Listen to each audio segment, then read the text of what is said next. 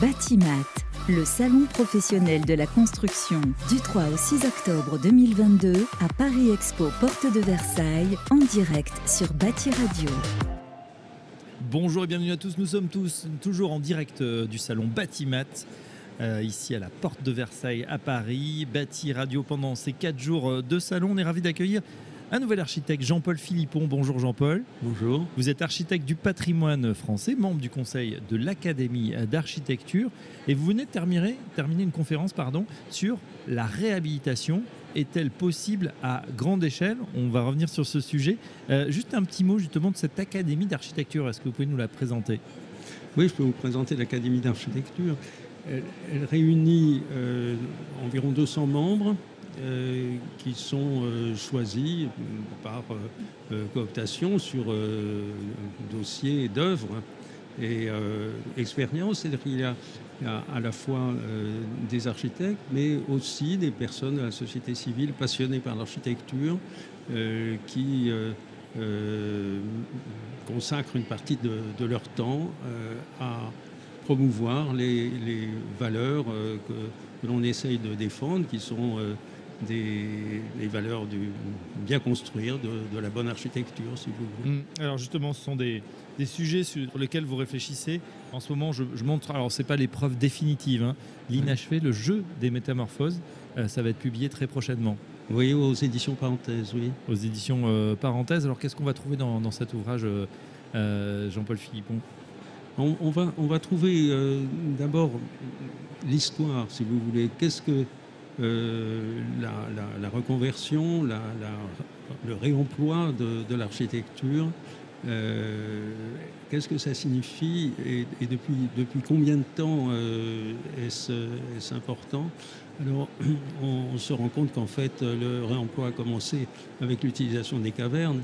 Ensuite, la période de, l'Antiquité romaine euh, a, marqué euh, également euh, une période de réemploi et surtout, et surtout la, redécouverte de, Rome après le, retour des, papes après la période d'Avignon, quand ils ont redécouvert Rome. Et bon, il y, a- eu le, l'action euh, importante de Raphaël en particulier euh, au- auprès du, du pape et également euh, Mm. la- l'action d'Alberti pour euh, sauver euh, Rome des, des ruines.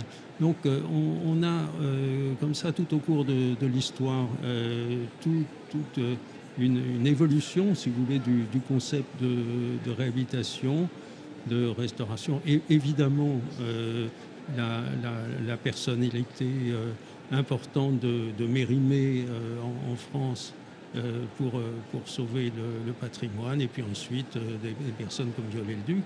Donc, si vous voulez, le, le- la, prise en considération du, patrimoine est, est maintenant euh, remise à, l'ordre du jour, Tout à fait.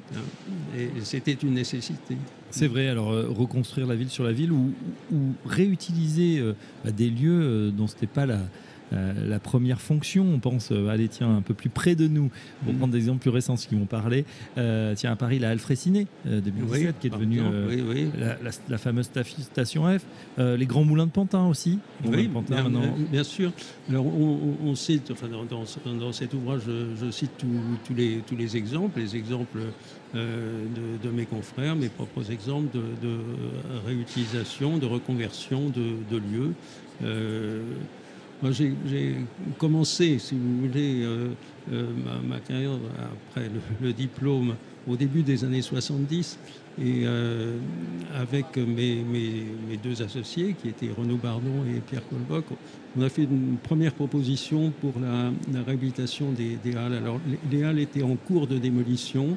Alors, les Euh, à Paris. Les halles à Paris. Les halles Baltard. Elles étaient en cours de démolition. Vous savez, ça a été un, un traumatisme pour notre génération d'architectes de voir euh, euh, que ces, ces édifices qui étaient euh, bien construits, qui étaient magnifiques Mm. et, et qui, qui étaient, euh, disons, les, les- les ancêtres de, du centre Pompidou. Le centre Pompidou qui était construit de l'autre côté du boulevard Sébastopol était dans la droite ligne euh, conceptuelle, si vous voulez, des, Halles de Balta. Et on était en train de, les démolir. Alors nous, on a fait un projet euh, qui réutilisait absolument la, trace des, pavillons, mais en creux, puisqu'il n'y avait plus les, pavillons, mais on, respectait le, tracé des, des, allées, si vous voulez, entre les pavillons. Et vous savez que ces, espaces avaient été utilisés pendant un moment euh, par euh, des, des spectacles, des, événements euh, des, divers, euh, du théâtre, patinoire, mhm. lieu d'exposition. Et c'était un, lieu extrêmement vivant avant qu'il ne soit ensuite figé dans, dans des formes qui sont tout à fait contestables. Ah oui, donc vous n'êtes pas fan de ce qui a été fait actuellement, c'est-à-dire la, canopée, les halles Ni de ce qui avait été fait avant. Enfin, bon, c'est-à-dire que ce lieu est, est, marqué par cette euh, catastrophe mm. architecturale au, départ. Je crois que euh, rien, rien, ne pourra sortir maintenant euh, de, correct de cet endroit. C'était une des questions qu'on vous a posées ce matin. Pourquoi conserver le patrimoine existant Et vous retournez à la question, pourquoi faudrait-il détruire? C'est vrai que souvent, on a des, des, grandes œuvres qu'on peut tout à fait reconfigurer, réhabiliter, bien plutôt que, que, démolir, qui coûte aussi très cher et qui est euh, euh, qui est pas très bon non plus pour l'environnement. Ah, non, euh, ben, c'était le cas, vous savez, pour la, gare d'Orsay. Hmm. La gare d'Orsay était menacée aussi d'être démolie. Et si elle a été sauvée, en particulier par un, ministre qui s'appelait Duhamel et un conservateur du Louvre qui s'appelait Michel Laclotte, c'est bien sûr parce qu'il y, avait eu cette démolition des, Halles de Baltar et tout à coup une prise de conscience que euh, finalement cette grande gare elle pouvait être utile pour euh, développer les, collections du 19e siècle principalement euh, dans, dans, cet espace. Donc euh, notre euh, travail a été de démontrer qu'effectivement, on pouvait faire un, musée euh, mm. nouveau, un musée natif nouveau à partir de ça. Voilà, et c'est ce fameux musée d'Orsay, magnifique, voilà, où on a les plus belles collections, effectivement. vous prévenez néanmoins, attention, réutiliser l'existant n'est pas moins cher que bâtir du neuf c'est vrai qu'on pourrait se dire la structure est là, finalement, on va donner un petit coup de frais, un petit coup de propre, on va réconfigurer des espaces vous dites attention, ça peut être aussi cher. Ça peut être aussi cher. la question, en fait, elle se pose différemment. C'est-à-dire que ce qu'on utilise a, une valeur, a déjà une valeur. C'est-à-dire que si on voulait reconstruire euh, ce, qu'on utilise, ça coûterait très très cher. C'est-à-dire que si on avait voulu reconstruire la gare d'Orsay, euh, comme elle était construite par la Loue, si on avait voulu reconstruire la piscine euh, de, Roubaix comme elle avait été construite par Albert Bach, avec les moyens d'aujourd'hui, ça coûterait beaucoup plus cher. Donc, euh, si vous voulez, on a, on a un patrimoine à disposition qui a, qui a une valeur. Donc, euh, on ne peut pas faire simplement l'addition des lots de, la construction qu'on réalise à un moment donné sans tenir compte de cette valeur préalable. Hmm. Alors maintenant, c'est vrai que les études sont en général plus longues et plus complexes. Euh, par exemple, si on avait eu à bâtir un, musée neuf, euh, bon, il y avait peut-être euh, moyen de construire un musée neuf plus rapidement et, avec moins, moins de, complexité dans l'interface, si vous voulez. C'est surtout ce, travail qui doit être fin, qui doit aboutir entre euh, une architecture existante et, l'architecture que l'on insère. Que l'on euh, il y a un dialogue nécessaire entre les deux, et ce dialogue nécessite effectivement tout un travail préalable. Comment justement on, imagine ces nouveaux lieux? Est-ce que par exemple, euh, à partir d'une gare, faire un musée? Est-ce qu'il y a des choses qui s'imposent quand on travaille sur un projet? Il n'y a rien qui s'impose d'emblée, si vous voulez. Ce qui, il faut, il faut s'imprégner des lieux, il faut euh, euh, comprendre quelle, est le, quelle a été l'intelligence euh, de celui qui les a conçus avant, mm. comment, comment, comment il les a conçus, et, apprécier ce qui peut être utilisé d'une façon intéressante pour un nouvel usage. Par exemple, dans, le musée, euh, dans, la gare d'Orsay, la, lumière, la zénitale de la, nef, c'était évident pour nous que euh, utiliser cette lumière pour euh, le, musée était, était, un. Donc l'idée de faire une grande nef pour présenter les sculptures, par exemple, sous, sous cette euh, sous cette verrière était, était une, donnée qui nous semblait importante. On utilise les potentialités du lieu quand, on le découvre. Bien sûr. Euh, comment on peut justement euh, tirer parti de ces premiers exemples réussis pour faire une réhabilitation à grande échelle On sait très bien qu'aujourd'hui, l'enjeu, c'est de plus bâtir, plutôt de mmh. densifier, de reconstruire la ville sur la ville. comment on peut massifier cet exemple ou du moins réhabiliter à plus grande échelle? Habiter à plus grande échelle, c'est la ville, hein, c'est prendre en compte la, ville. De toute façon, quand on transforme des, bâtiments, il faut tenir compte du contexte dans lequel ils sont. En général, dans un contexte urbain, c'est la, ville qui évolue, c'est la ville qui se, métamorphose. Alors, aujourd'hui, le, problème, c'est d'éviter que la, ville continue à, s'étaler en taches d'huile, bien sûr. C'est-à-dire que on doit euh, définir des lieux dans des limites et non plus des, non-lieux hors limites. Les non-lieux, c'est le, concept conçu par euh, Marc Auger pour, définir mhm. tous ces espaces de supermarchés, d'aéroports, etc., qui, ont proliféré autour des, villes. Non, maintenant, on définit des limites.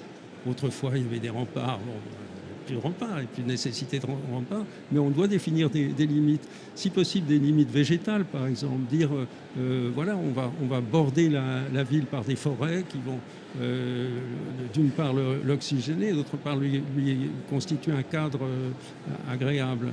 Donc, à l'intérieur de, ces limites, il faut une, intelligence collective, je veux dire une intelligence mm-hmm. des habitants aussi. C'est-à-dire que pas, il ne faut pas laisser euh, au, seul professionnel euh, la, charge de, concevoir la ville. Je crois que c'est un travail important avec, euh, avec les habitants. De toute façon, rien ne se fait sans qu'il y ait en face de nous, ça a été le cas pour les, musées dont j'ai parlé, qu'il y ait en face de nous le désir de quelqu'un. Et ce, désir qui était exprimé par des conservateurs, par exemple, d'avoir un projet sur un programme de données avec des collections de données, c'est la même chose pour des habitants dans une ville, d'avoir le désir d'un habitat euh, nouveau qui utilise au mieux les, ressources présentes. Voilà, en tout cas, euh, cette réhabilitation, elle passe euh, évidemment par ces constructions ou ces réhabilitations. Euh, vous dites aussi qu'il y a plusieurs enjeux hein, euh, quand on euh, conserve plutôt qu'on remplace. Un des enjeux, justement, c'est aussi la beauté du lieu et c'est comme ça qu'on emporte aussi l'adhésion de ceux qui vont habiter dans ces nouveaux lieux et dans ce quartier. Bien sûr, la, beauté, c'est une donnée importante. Alors je, voudrais revenir à, l'Antiquité, à, Vitruve. Simplement, Vitruve, il disait euh, solidité, euh, commodité et beauté. Mais on a exactement toujours la même, la, même trilogie aujourd'hui euh, nécessaire. C'est-à-dire que la, commodité, c'est prendre en compte toute la, demande sociale qui, qui s'exprime à, travers la volonté d'usage nouveau, euh, etc. Et puis euh, la, solidité, c'est réhabiliter euh, techniquement, si vous voulez, consolider, restaurer, adapter différentes nécessités à la fois thermiques, acoustiques, etc. Et puis, évidemment, la, beauté, la, beauté, c'est pas, c'est pas du cosmétique. Hein. La, beauté, c'est euh, faire euh, advenir, si vous voulez, à partir de tous ces désirs, quelque chose qu'on n'aurait même pas soupçonné. Que, le, travail créatif soit, soit suffisamment euh, dense sur, sur le sujet pour euh, faire que le, nouvel objet, le, nouvel objet qui résulte de, l'association, euh, de, la synergie entre, entre les, différentes architectures d'époques différentes, le nouvel objet soit plus beau que le précédent. C'est-à-dire que toute intervention euh, tout à l'heure, au cours de, l'interview précédente, j'en parlais, toute intervention d'un concepteur doit prendre en compte la beauté euh, préexistante et proposer quelque chose qui soit au moins aussi beau. Hmm. Euh, bon, et ça a été le cas pour les cathédrales, par exemple, quand jusqu'au XVIIe siècle, depuis le XIIe jusqu'au XVIIe siècle, vous avez affaire à des transformations qui sont toujours des transformations de grande qualité. Ah bah ça va être l'enjeu effectivement pour 21, euh, ou 22 siècles après Vitruve, continuer dans cet esprit, solidité, communauté, beauté, voilà en tout cas un, triptyque qui s'applique toujours hein, pour les architectes euh, d'hier comme d'aujourd'hui et ceux de demain. Un grand merci Jean-Paul Philippon, c'était passionnant. je rappelle le nom de votre ouvrage qui va, qui va sortir quand On a une date? Écoutez, j'ai pas une date précise de, mon éditeur, mais a priori, ça devrait être au tout début de l'année prochaine. Euh, L'inachevé ou le jeu des métamorphoses. L'inachevé ou le jeu des métamorphoses, Jean-Paul Philippon, aux éditions Parenthèse. Un grand merci, Jean-Paul Philippon, et à très bientôt sur notre antenne. Merci. Batimat, le salon professionnel de la construction du 3 au 6 octobre 2022 à Paris Expo Porte de Versailles en direct sur Bâti Radio.